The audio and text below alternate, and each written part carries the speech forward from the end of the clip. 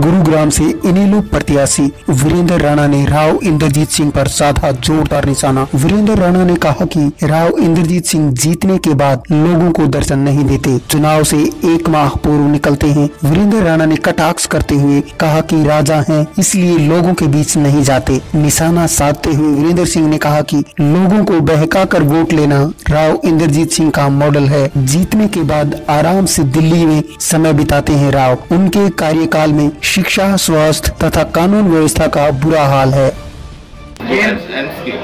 नहीं नहीं, वो तो उधर साहब क्लेम करते हैं कि भाई दीपेंद्र यादव जी क्लेम करते हैं। तो उसके ऊपर कितना आगे काम हुआ है, वो तो देखिए ना आप योजना करके नहीं छोड़ सकते ना।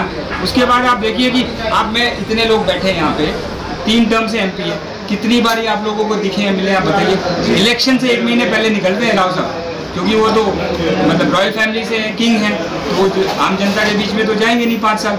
अब लास्ट के एक महीने निकलते हैं, लोगों को बहकाते हैं, वोट लेते हैं और अपना दिल्ली में आराम से रहते हैं। ये मॉडल है।